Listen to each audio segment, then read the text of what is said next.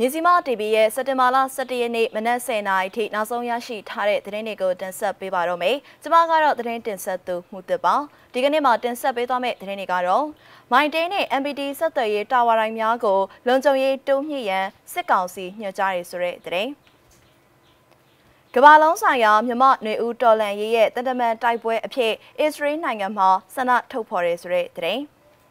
မဟာအောင်မြေမှာစစ်တပ်ကိုလူငယ်သုံးဦးကဖမ်းသွားတယ်ဆိုတဲ့သတင်းစစ်ကောင်စီဗမာအဖမ်းဆီးရှိနိုင်ကြောင်း PDF ကြိုက်လက်ကမြို့ပေါ်နေပြည်သူတွေကိုတတိပေးတယ်ဆိုတဲ့သတင်းအစရှိတဲ့သတင်းတွေကိုတင်ဆက်ပေးသွားမှာပဲဖြစ်ပါတယ်ရှင်ပထမဦးဆုံးသတင်းတစ်ပုဒ်အနေနဲ့ တနိုင်ငံလုံးမှာစက်တင်ဘာလ9ရက်နေ့တရက်ထဲမှာပဲစစ်အုပ်စုပိုင်းဆက်သွယ်ရေးတာဝါတိုင်း36ခုဖောက်ခွဲဖျက်ဆီးခံရပြီးတဲ့နောက်မိုင်းတင်းနဲ့ MPD ဆက်သွယ်ရေးတာဝါတိုင်းတွေကိုလုံခြုံရေးတိုးမြင့်ဆောင်ရွက်ဖို့စစ်ကောင်စီရဲ့လှို့ဝှက်ညွှန်ကြားစာတစ်စောင်ထွက်ပေါ်လာပါတယ်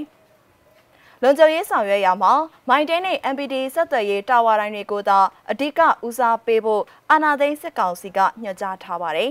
။တနိုင်ငံလုံးမှာ ဖောက်ခွဲဖျက်ဆီးခံခဲ့ရတဲ့ဆက်သွယ်ရေးတာဝါတိုင်း36ခုအနက်စကိုင်းတိုင်းမှာ22နေရာနဲ့အများဆုံးဖြစ်ပွားခဲ့တယ်လို့ညွှန်ကြားစာမှာဖော်ပြထားပါတယ်။တာဝါတိုင်းတွေဖျက်ဆီးခံရမှုနဲ့ပတ်သက်ပြီးပြည်ထရေးဝန်ကြီးမှစုပေးဒဏ်ပေးစနစ်ကျင့်သုံးရေးနဲ့အစီအမံတွေကိုတင်ပြဆောင်ရွက်ကြရန်မှားထားပြီးဖြစ်တယ်လို့လိုအပ်စာမှာပါရှိပါတယ်။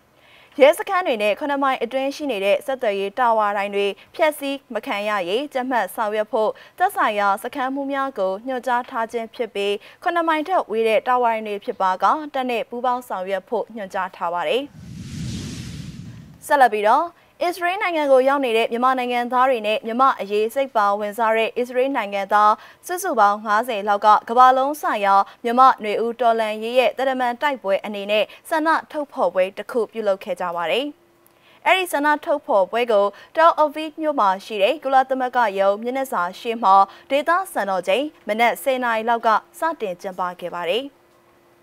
အဲဒီနောက်မှာတော့အစ္စရေးနိုင်ငံဆိုင်ရာမြန်မာတန်ယုံစီဆက်လက်ချီတက်ပြီးဒေသစံတော်ချိန်နေ့လယ်12နာရီထိမြန်မာတန်ယုံရှိမှဆန္ဒထုတ်ဖော်ခဲ့ကြပါတယ်။ဆန္ဒထုတ်ဖော်ပွဲမှာတော့တန်အမှတ်ကြီးဦးကျော်မိုးထွန်းကိုအတိမတ်ပြုလက်ခံရေးအမျိုးသားညီညွတ်ရေးအစိုးရကိုအတိမတ်ပြုလက်ခံရေး Federal Democracy ရရှိရေးစတာတွေကိုကြေးကြော်ပြီးဆန္ဒထုတ်ဖော်ခဲ့ကြတာပဲဖြစ်ပါတယ်ရှင်။ဆက်လက်ပြီးတော့ မန္တလေးမြို့မှာစက်တင်ဘာလ10ရက်နေ့မနေ့ကည7:00နာရီလောက်မှာမန္တလေးမြို့မဟာအောင်မြေမြို့နယ်တန်လျက်မော်အရှိရက်ကွက်မှာစစ်ကောင်စီတပ်ကတနက်တွေပြစ်ဖောက်ပြီးလူငယ်3ဦးကိုလည်းဖမ်းခေါ်သွားတယ်လို့ဒေသခံတအုပ်ကပြောပါတယ်။ပေါ်တာဆွဲတာလို့လည်းပြောတယ်။ကလေးတွေကဘာအပြစ်မှလုံမထားဘူးလို့ဒေသခံတအုပ်ကဆိုပါတယ်။ တန်လျက်မော်အရှိရက်ကွက်ကံပတ်လန်က CEA ကိုပိုင်အထက်တန်းကျောင်းသားမှာတနက်အချက်ပေါင်းများစွာပြစ်ဖောက်ပြီးရက်ကွက်ထဲကဆယ်ကျော်သက်လူငယ်၃ဦးကိုအတင်းအဓမ္မဖမ်းခေါ်သွားတာပါရက်ကွက်ထဲကိုစစ်ကောင်စီတပ်ကအင်အား20ဝန်းကျင်နဲ့ဝင်ရောက်ခဲ့တာပဲဖြစ်ပါတယ်နောက်ဆုံးသတင်းတစ်ပုဒ်အနေနဲ့ AR တိုင်းကျိုင်းလမ်းမြို့မှာမနေ့ကစက်တင်ဘာလ10ရက်နေ့ညပိုင်းအချိန်က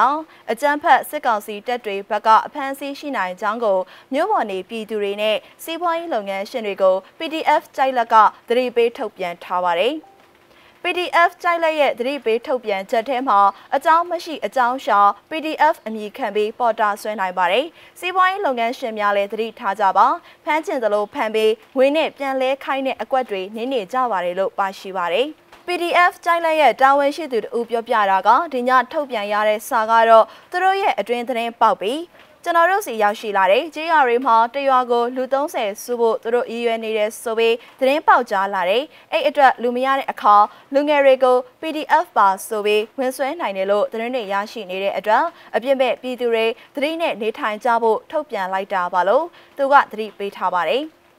ကျိုင်းလန်းမြို့မှာအကြမ်းဖက်စစ်ကောင်စီကအာဏာသိမ်းပြီးနောက်ပိုင်းဆီယနာရှင်ကိုစန့်ကျင်လို့ဖမ်းဆီးခံရသူအမျိုးသား2ဦးရှိတယ်လို့သိရပြီးလက်ရှိအချိန်ထိလည်းဖမ်းဆီးထားဆဲဖြစ်ကြောင်းကိုလည်းသိရပါတယ်ရှင်။မြစီမ TV ရဲ့စက်တင်ဘာလ17ရက်နေ့မနက်10:00နာရီထိနောက်ဆုံးရရှိထားတဲ့သတင်းတွေကိုတင်ဆက်ပေးခဲ့တာပါ။ကြည့်ရှုနားဆင်ပေးခဲ့တဲ့အတွက်ကျေးဇူးတင်ပါတယ်ရှင်။